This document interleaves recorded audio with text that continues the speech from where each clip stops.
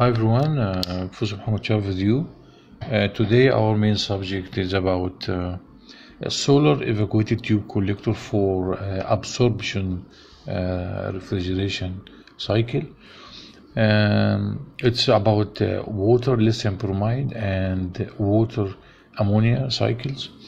Uh, actually, it is um, two cycles in one. Um, let's see how can we deal with this. Uh, open your MATLAB firstly, open your MATLAB and go to your destination folder for this is my working folder, okay? Don't open it for your desktop, just copy it to main working folder. This is my main working folder, this is my model, so I I have to search for my model here, okay? And this one, okay? I just click and uh, click here to sort by name and group by type. This is very important okay so you can find your uh, uh, this is your folder with files and um, uh, excel sheets and everything. Ammonia excel sheets water excel sheets superheat and uh, dry and liquid saturated lines. Uh, very important. Okay this is our memo. This so all we have to do is double click or drag and drop okay? Drag and drop here and now we have here this is our main cycle um, simply this is a solar evacuated tube collector to ensure that you have uh, well above uh, operating uh, conditions uh, for outlet uh, temperature because this is important for the generator in your uh, absorption cycle. As you as you know absorption cycle is about a generator to transfer heat from any heat source, waste heat, solar energy, geothermal energy. It's about uh, uh, the technique of uh, utilization. And we have condenser for condensation and expansion valve. Then we have here evaporator for refrigeration and cooling load. And we have here the absorber cycle. And we have here heat intermediate heat exchanger unit. This is the mean uh, cycle for ammonia, for lithium bromide. For lithium bromide, uh, I have added a cooling tower, mechanical draft cooling tower, uh, for more condensation purposes. Um, the cycle contain contains um, also flash cyclone for steam gener generation. This is important for the generator. So we have here hot water inside the flash cyclone and after um, some kind of pressure drop we we have here steam for the generator. This is our absorption cycle. And the rest of uh, liquid water should be repumped again to uh, the main solar field uh, unit. And let's see here. Okay this is our main components. uh, as you can see here we have solar collector and um, uh, uh, this is ammonia cycle water ammonia cycle and this is water lithium bromide. And this is controller which organize the data from the first cycle which is ammonia and uh, the second cycle which is lithium bromide. And this is your flash tank and we can we have here this is your cost analysis block. You can double click here okay to assign some main input. And we have here pumping unit. Okay this is a switch arm so you can uh, switch between lithium bromide or ammonia. It's up to you. Okay. First of all we have to uh, recognize uh, some important aspects for this model. Uh, how can I uh, control my inputs? How can I control my ranges? How can I uh, extract my outputs? Uh, therefore let's go here. Okay let's go let's begin from here. Okay this is the main block main mother block double clicking.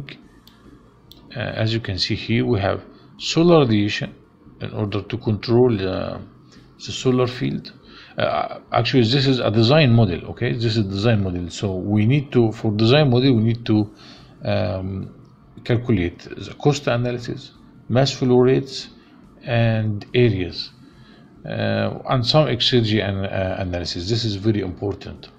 So this is solar radiation. If you increase the solar radiation, you will surely reduce your solar field area because there, there is some kind of direct reflection to your uh, uh, design. And we have here ambient temperature or reference temperature okay? Uh, this is outlet temperature from the solar field. You can control it.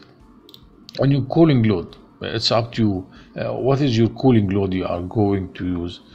Um, for theater for room for um, building it's up to you okay suppose uh, how can i change this uh, uh, this range? Let's emphasize control plus okay control plus okay. How can this is from 1 up to uh, 500 for example okay. You can uh, uh, exceed the limit if you would like. Maybe 10 let's see ton refrigerant and solar radiation is from 100 up to 120 how can i change this limit? You can change this, limits from here. Just one click here right click right click here and going to the mask and edit mask. Uh, you can do this for all uh, for parameters. Okay you can go here. This is my solar radiation so now I can control this maximum and minimum limits you can simply transfer this to a, a, a text box edit without any ranges. I, I do prefer this one. Let's reduce solar radiation to 1000 hit apply okay. And double clicking you realize this it is once only 1000 okay. Okay. Uh, let's control minus. Okay. Hit apply um, let's go here. Okay. For uh, let's see here for a solar solar uh, uh, uh panel. Okay. I would like to choose there's some kind of uh, three types of solar uh, evacuated tubes. I do prefer this one because this is a scientific project with accurate data type 3 hydraulic mass flow rate tube diameter tube length number of tubes uh, minor losses okay? No more than this okay? Uh, because it's a design model. As you can see here this, these are your inputs to your uh, solar field and there is an input from the pump. Outlet from the pump should be uh, your input uh, to your uh, solar field okay? Let's see here. Let's go for if you would like to inspect the inside just click here you will find emphasize this this is your uh, solar field as you can see here outlet uh, uh, water pressure, uh, pressure losses, total field area, solar collector area, thermal power, number of collectors, uh, loops, uh, exergy analysis, exergy out, exergy in, exergy efficiency, uh, and so on. We have we have done a, a, a video tutorial video about this before. If you double click here, you can you can use the code if you would like. Copy it. With tags the code is uh, with tags so it, is, it will become easy for you to adapt it in your uh, research activities and uh, uh your work. Okay let's double click here for ammonia. Okay ammonia should be uh, assigned from inside. Okay for bombing let's double clicking. Efficiency only efficiency. Cost analysis we need to assign operating hours uh, interest rate load factor uh, specific power cost depending on your country. Uh, the price uh, electric price US uh, dollar per kilowatt hour plant lifetime should be 20 years okay. And hit apply and okay. For flashing let's see okay we need just steam velocity okay. Okay. Okay let's see here for ammonia let's go inside. Uh, this is flashing cycle. This is uh, uh, steam tables or liquid tables for uh, water because this is water cycle through the flash tank and you are allowed to uh, extract some results such as uh, design aspects for the flash unit, cross section area, and diameter, tube's diameter, dryness fractions. This is very important. Dryness fraction, okay. And let's see if we can go for the pump pumping power, outlet temperature, outlet enthalpy, and exergy destruction rate. Let's go for ammonia cycle. Okay, for this one, we need to assign, also we need to assign some uh, main parameters. Let's go for absorber, double clicking. You have to assign only temperature of your absorber. I do recommend this value. Uh, why? Because of this. I have the I have done this before because it's about I have uh, uh, some research articles about this one. So I um, I measure this this particularly this uh, system. And I do recommend these values for your uh, operating conditions. Uh, top temperature okay. Uh, generator temperature it's between 80 and 90 condenser temperature between 40 and 45 and evaporator temperature from 5 to 10 and efficiencies and so on. And this is my equations and I have here some outputs uh, because this is a published work. Okay for lithium bromide as you can see the effect of let's emphasize here. This is these results are extracted from uh, from this model particularly okay. For the COP as you can see you realize the COP is decreasing if we intended to increase the absorber temperature okay. And this is COP max. Uh, exergy destruction rate surely uh, will increase okay.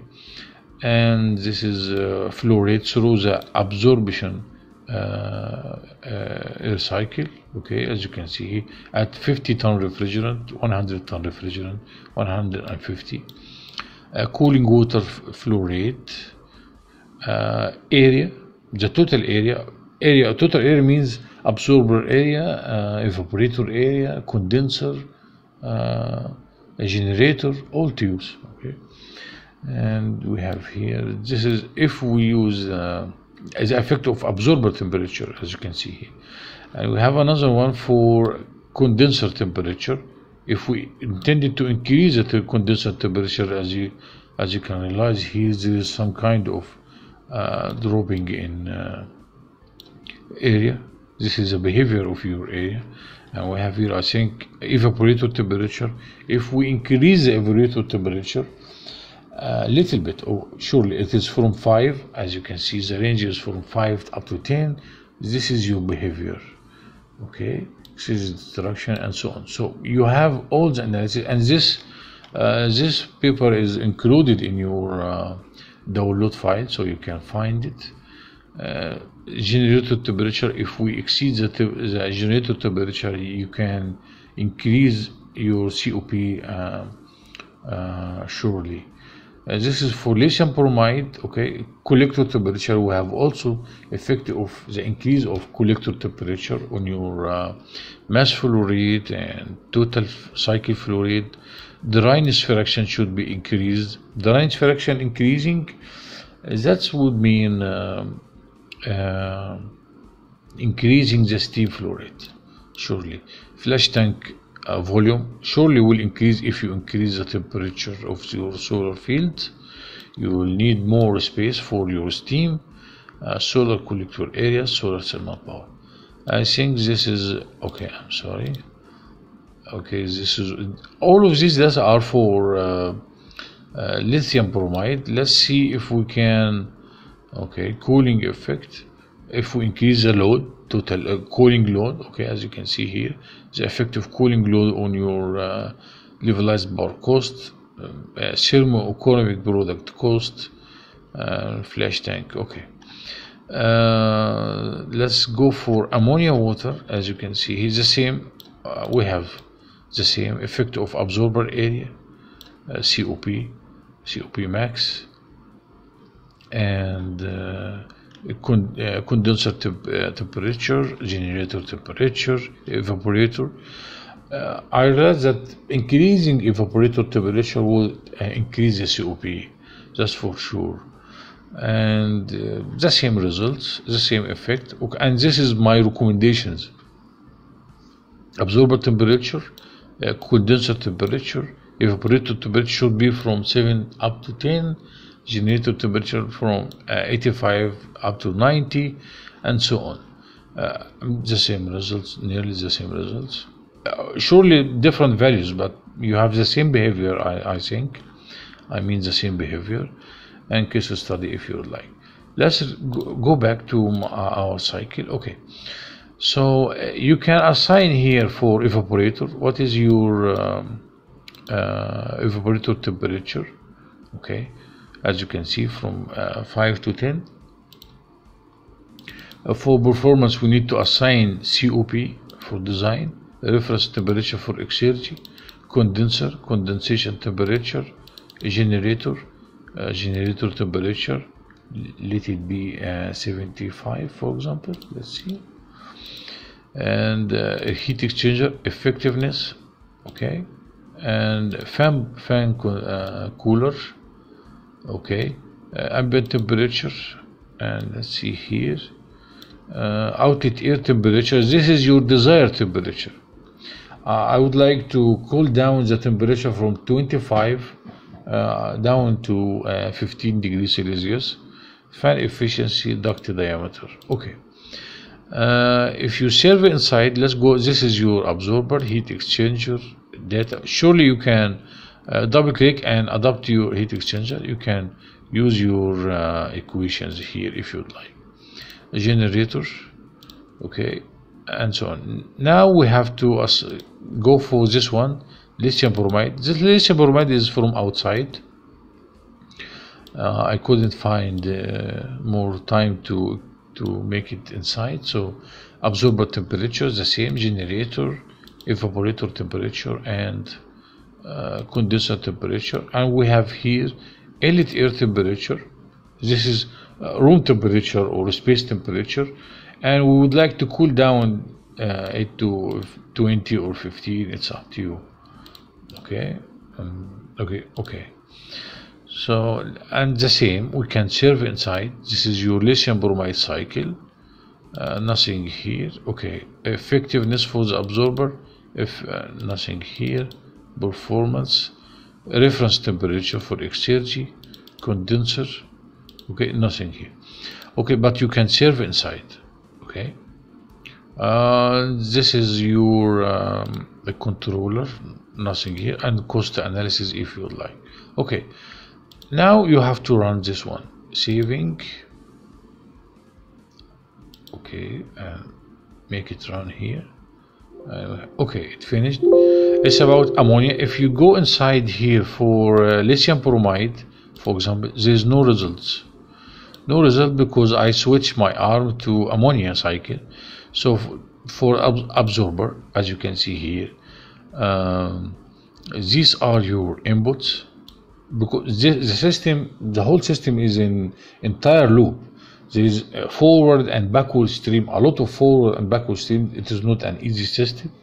So these are your uh, main inputs as you can see here. This is your process.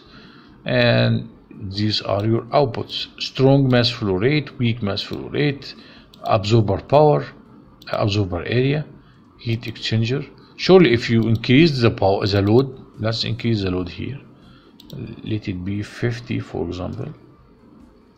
And return it back. Watch the area. Okay saving. Run.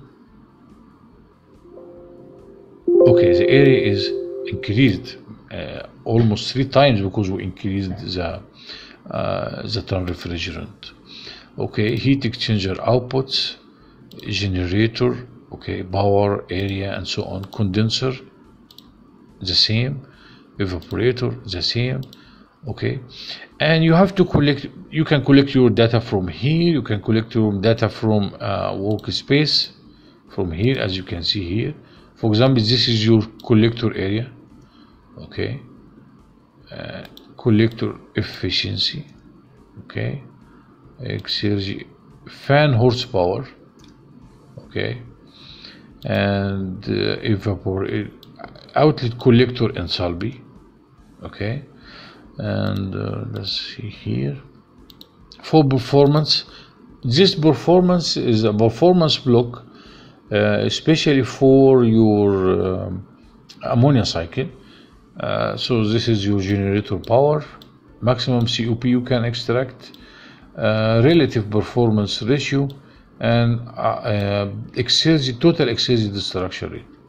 Okay and fan cooler as you see here. Outlet air velocity mass flow rate of your air fan power uh, fan exergy destruction outlet fan uh, exergy. Okay? Nothing for absorb for uh, lithium bromide because we switched our cycle. Let's go for cost analysis. So uh, this is your cost hourly cost for your solar field. Flash tank hourly cost absorption cycle hourly cost pumping power cost. Cooling tower there is no cooling tower cost because there is no cooling tower in your ammonia cycle. Uh, to, this is your total hourly cost levelized power cost and uh, uh, thermoeconomic product cost. This is very good very important parameter to measure your uh, cycle outputs. And uh, let's go here. Let's go for flash tank. Okay. This is your flash tank design aspects the, uh, uh, flash flashing dryness fraction. Okay. Um, uh, water uh, at the bottom of your tank. Total flow rate of uh, the water cycle. Uh, total tank volume and so on. So you can this is your pumping power. Okay. Outlet pump temperature and, and so on so the system simply you can switch between your cycle just in one uh, model okay? Lithium bromide or the ammonia. You can control your uh, your load. You can control your um, uh, input and output parameters. And remember that these are your um, optimum values as you can see here. These are your optimum values based on my research. I'm sorry. Based on my research absorber temperature should be uh, 30 degrees Celsius. Evaporator should be 10 degrees Celsius generator temperature 90 condenser is 40 uh, collector outlet temperature should be 175 okay? Uh, and so on. And okay uh, so this is a, a, case study and this is my recommendation based on my uh, research because I, it took me uh, almost one month to finish this work and to extract these um, results from your uh, your model. And uh, finally I would like to thank you very much for interest in our model. Don't forget to I, I, I would like to inform you that if you would like to use um, dynamic system or run this system in dynamic mode by changing the results let's go for one one example. Let's go for one example um, but firstly you have to let's see uh, going to the flash tank. Okay. I would like to extract my results. How can I uh, inspect my result? Just highlight your signal and click here. Send it to data inspector. Okay. So be sure that there is a small square or for um, uh, new newer versions of MATLAB you can find it as a Wi-Fi signal okay and pumping power okay it is highlighted. This is small square.